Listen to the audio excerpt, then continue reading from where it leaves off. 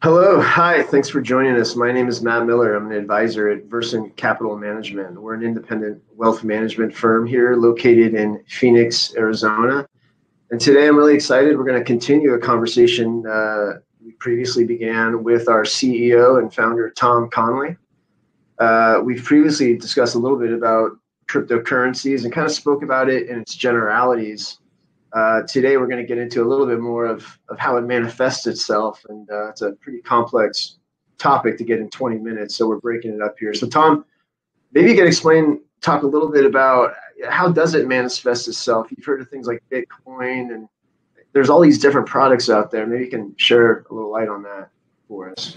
Yeah, thanks, Matt. So I, I think uh, what I'd like to talk about today is a little bit about the ecosystem, crypto ecosystem.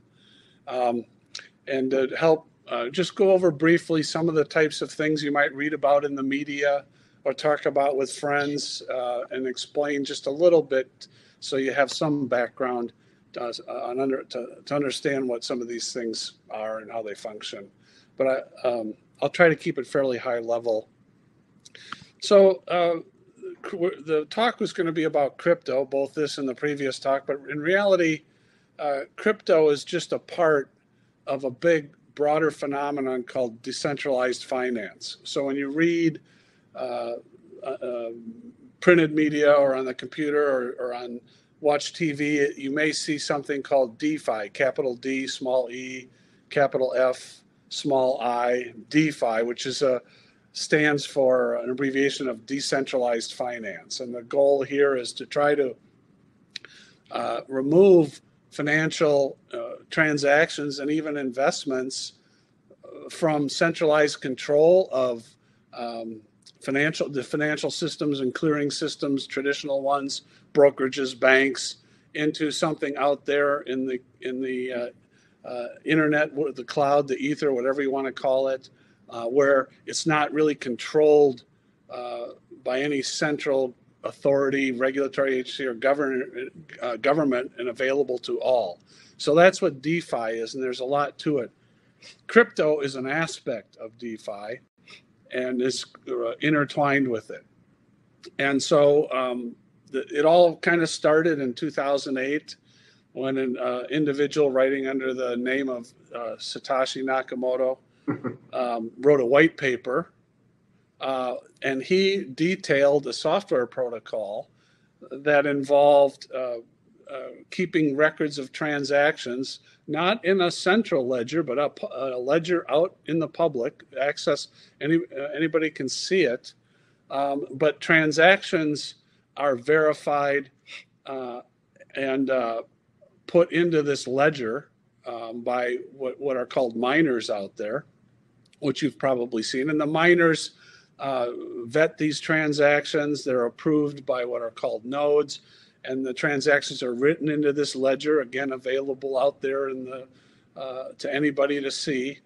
Um, and they get paid um, fees and uh, crypto investments to do that. So the most familiar uh, crypto uh, investment is Bitcoin, which we talked a lot about in the previous video.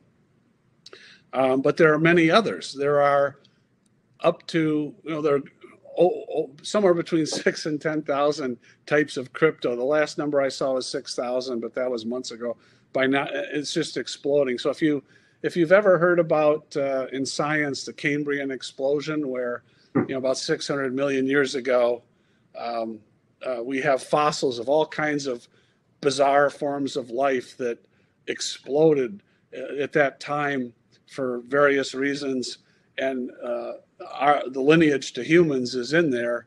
Um, but most of those forms of life no longer exist. But there was this huge explosion of variation, and that's really what the crypto world looks like. You have, um, based on this software protocol that allows people to uh, participate uh, from anywhere in the world, any economic status, without having to go through governments or or traditional clearing systems, a great degree of freedom and decentralization. Um, based on that idea and that platform is just an explosion of activity. And so uh, recently, there's a lot more excitement because some of these uh, investments, these uh, Bitcoin and Ethereum, are up, you know, hundreds of percents just in 12 months, the last 12 months, and so they are generating uh, quite a bit of attention. So last time we talked about Bitcoin, uh, last video, which uh, is over a trillion dollars in value today, um, and is by far the largest investment. And I'll uh, I went over the the coins, Bitcoin. The second biggest one is Ethereum, and they are um, uh, the two dominant uh, coins, if you will, means of investment uh, out there uh, for crypto. Now, the thing about Ethereum, which is like Bitcoin, has its own kind of software, its own ledger. It's actually created technology around its methodology of of um, creating and maintaining that uh, ledger associated with Ethereum. And they are actually expanding that technology into doing some other things that I'll talk about in a minute. So, most of what you read about and what people are investing in um, outside the traditional financial system are Bitcoin and Ethereum. Tom, Tom there's another phenomenon called stable coins. Um, and I think yesterday we talked a lot about the volatility of Bitcoin and Ethereum, that they, you know, there are three episodes of uh, crashes uh, 80% or greater since 2012. That's a little bit too much volatility to function as a as a means of as a, as a currency or a means of exchange. So, um, out of the uh, crypto and DeFi world came stable coins, and a stable coin is a coin, but it's backed by something. So it might be backed um, by a lot. Most of them are backed by the U.S. dollar, so they're supposed to be exchangeable. Um, you know, the, a unit of the of a stable coin might, is exchangeable into a dollar, or even a basket of currencies, or or or a coin, a Bitcoin.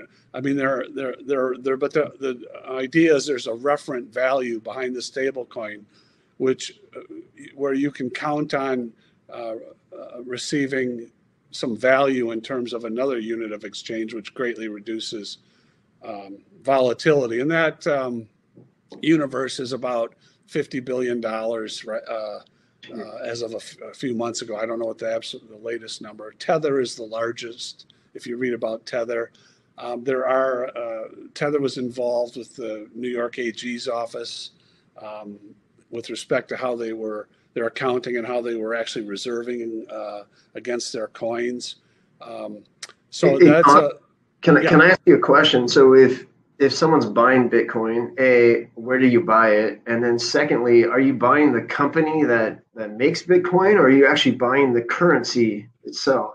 No, you're buying a Bitcoin, and uh, the ledger I was talking about.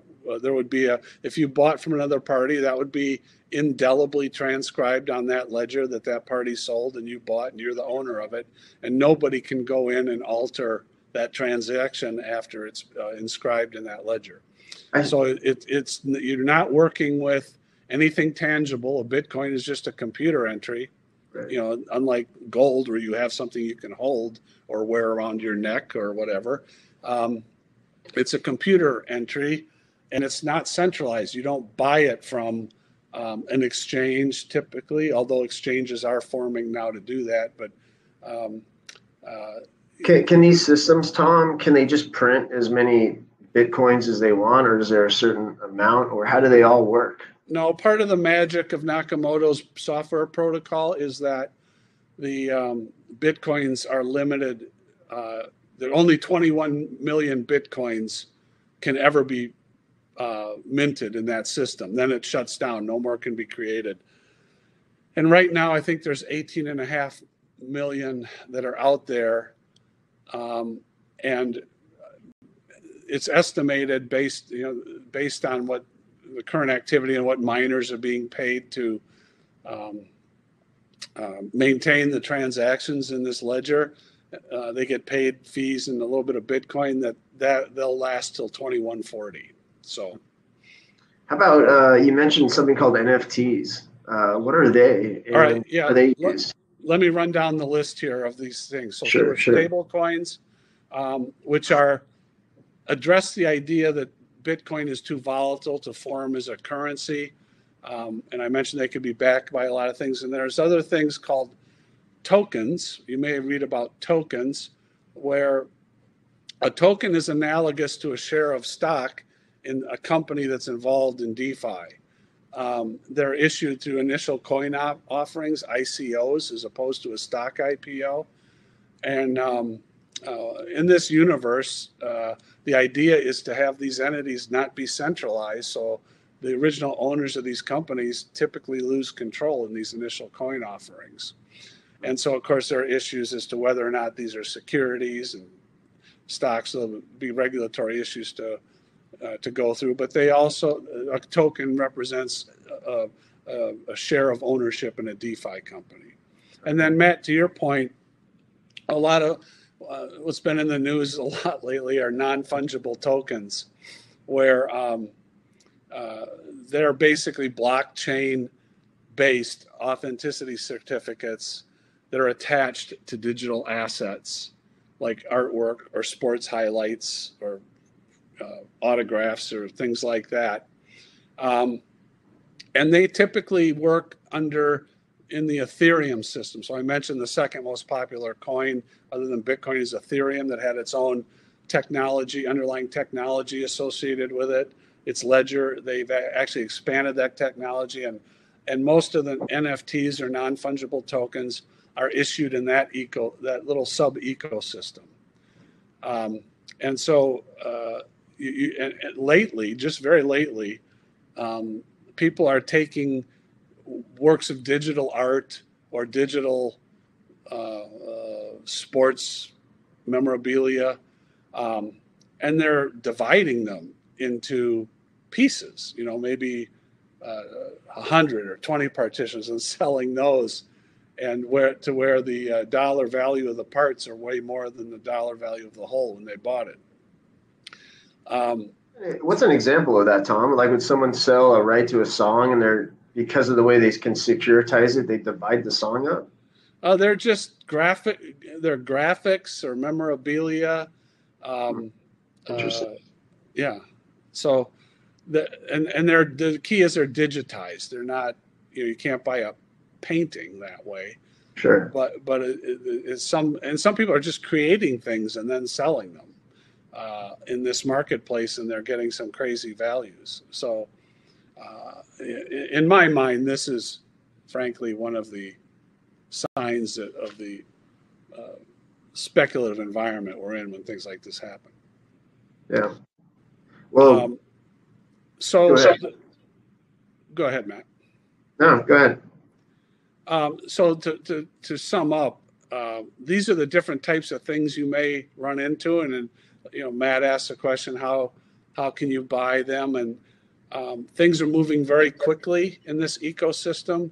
Um, most of the major banks and uh, brokerages are trying to establish crypto exchanges where their clients can access and transact or even hold some of these assets. Right now, you have to go out into the uh, uh, internet or um, through private partnerships uh, to, to get access, um, but it's becoming more and more mainstream. Um, there are also some funds, exchange traded funds or mutual funds that are forming up to get access to this universe. And I think I, I talked a little bit about this in the previous video, but they're they typically um, can you can you can invest in uh, venture capital companies privately that are in the DeFi world. Uh, there are some funds that um, uh, trade in uh, futures and options on Bitcoin or other crypto investments. Um, there are no approved mutual funds that directly trade digital assets yet, although uh, they have been applied for and a number have been declined, but it's only a matter of time, in my opinion. And then there's an index fund out there that actually invests in stocks of companies that uh, that are involved in DeFi software or equipment or servicing of both of those. Uh, so those are the way, Matt, that you would you would you would access. That's a lot to a lot to look at. How um, you and your team are, are constantly looking at all these things. Is this something I think we touched on a little bit last time, and maybe I know the answer. Is this something clients can expect to see in their portfolios here anytime soon? No, the big point in the last video was that the, the digital assets do not do not pay any kind of interim uh, cash flows, such as dividends, interest, rent, um, royalties, uh, and the traditional definition of an investment is a is, a, its value is a discounted um, uh, sequence of cash flows that you discount back to the present. That's the value. That's the idea, central idea. Reality is a little more messy than that. But crypto assets have no interim cash flows. They are totally dependent on what someone's willing to pay in the future. Uh, some people call that the greater fool theory that we buy now, we pay a price, and there'll always be someone in the future who'll be willing to pay more that is, a, in our view, a pure speculation, a speculation of the purest form. And frankly, uh, we are fiduciaries to our clients, and and uh, a speculative investment like that has does not have a place in uh, in our client portfolios. Sure. Now, however, we are looking at some of the companies that um, work in this space and invest in this space and service it that actually um, get paid and have cash flows and our you know traditional investments. That is something that might happen in the future, might not that we're looking at. But as far as crypto, uh, I wouldn't expect to see that in uh, Versant portfolios in the near future. Well, great, Tom. Uh, do you have anything else you want to add, or? No, I think we're good. I think we're good for today. Uh, the two talks, there's a little bit of overlap, but um, they are complementary, and uh, I hope we've at least taken the first step or two in helping all of you uh, wrestle with this as you get exposed to it in the media or read about it. Absolutely. And just to open that channel of communication between you and your advisor, if you have any questions about any of this, reach out to us and we'll, uh, we can't answer it. We'll put you in contact with Tom. Uh, but thank you all for for joining us. Uh, it's been a great session, Tom. Thank you again for your uh, your time and your insights. Uh, we look forward to the next one. We'll talk to you later. Thanks, Matt. Thanks, Tom.